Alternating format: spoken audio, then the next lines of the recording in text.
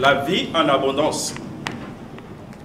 Mon discours de ce soir est une inspiration de la célèbre naturaliste Irène Grosjean.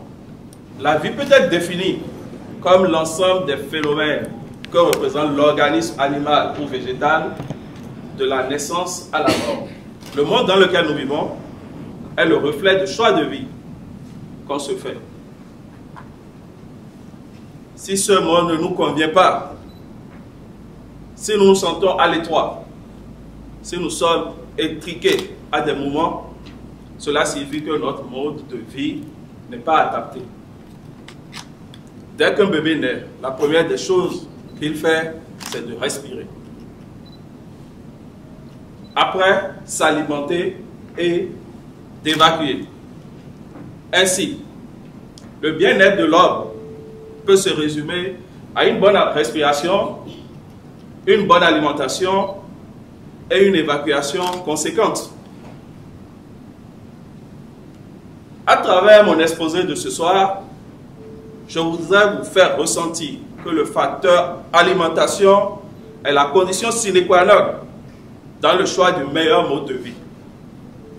On a commencé par mettre des choses dans la bouche sans se poser la question si c'est comestible, si c'est quelque chose qui est adapté à l'humain que nous sommes. Il nous a été rapporté, selon la préhistoire, que l'homme était cueilleur. Ensuite, cueilleur, chasseur. Et c'est à ce moment-là qu'il a perdu sa guidance cosmique et a développé son intellect et le raisonnement. En réalité, l'homme doit s'alimenter comme le singe, dont il est descendant et avec qui il a presque le même tube digestif, et non comme un carnivore.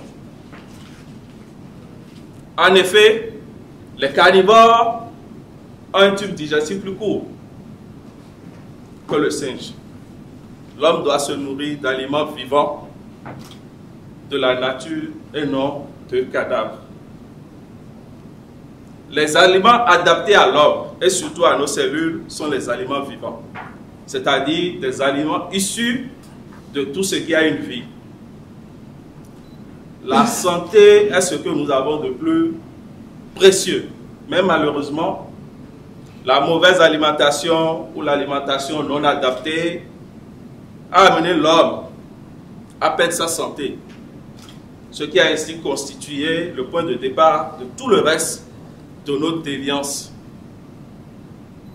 Toutes les déviations humaines ont leur racine dans l'alimentation adoptée par tous et qui n'est celle compatible à notre système digestif. Si nous mangeons des aliments vivants, cela nous apportera la vie. Et si nous mangeons des aliments morts, bien évidemment, cela nous apportera la mort, dit Irène Grosjean. Le foie humain a été construit pour digérer les fruits de la cueillette et des légumes. Les fruits nous apportent de l'énergie, de l'air, de l'eau, de la terre et du soleil et représentent ainsi le carburant du système humain. Si l'homme donne à son corps des aliments indiqués il vivra longtemps. Notre péché originel a été de vouloir donner goût à nos aliments par la cuisson, les assaisonnements et autres qui ne font que du bien à notre langue. Chers invités et chers collègues, vous convenez avec moi que le froid, c'est l'absence de la chaleur. On ne combat donc pas le froid, on y apporte juste la chaleur. L'obscurité est l'absence de la lumière. On ne combat pas l'obscurité. On amène de la lumière. On ne doit donc pas combattre la maladie. On doit juste refaire la santé et la maladie disparaîtra. La maladie donc peut être vue comme l'avertissement de notre corps à libérer les résidus qu'une alimentation non adoptée lui a apportés. Comme vous l'aurez découvert au fil de ces lignes, l'homme a été créé pour vivre heureux dans un environnement sain, bien adapté à son organisme. Il est bien évident très difficile de changer des habitudes acquises depuis des années, mais il est souhaitable de faire l'effort de vivre le plus naturellement que possible. La nature a tout prévu. Toastmaster Clément Chabi. La nature a tout prévu. Et si l'homme donne à son corps des aliments indiqués, il vivra longtemps. Ceci pour vous dire que j'ai suivi le discours avec satisfaction, puisque je partage cet avis. Le sujet choisi est d'intérêt certain, car qui n'a pas besoin de vivre longtemps, qui n'a pas envie de vivre longtemps? Votre test est bien structuré. J'ai pu noter l'introduction, le développement, la conclusion, mais aussi des mots et phrases de transition qui ont été bien construites. J'ai aimé, lors de votre présentation, le contact visuel que vous avez eu. Votre voix était audible. Et j'ai noté une gestuelle et une variété vocale qui étaient naissantes, malgré le fait que vous étiez au lutrin. J'ai particulièrement aimé cette touche d'humour insérée dans votre texte pour mieux accrocher l'auditoire.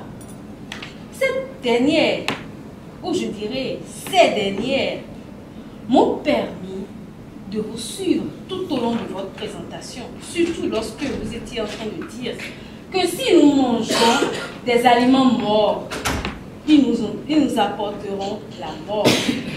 Toastmaster Clément Chabi, bravo à vous. Bravo pour ce discours instructif et bravo pour l'avoir délivré avec une certaine aisance.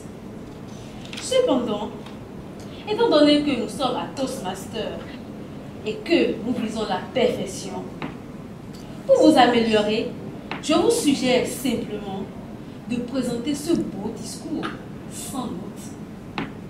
Cela vous permettra d'une part de montrer plus de sincérité à l'auditoire qui était vraiment concerné par vos sujet, et de l'autre d'avoir une gestuelle et une variété vocale adéquate.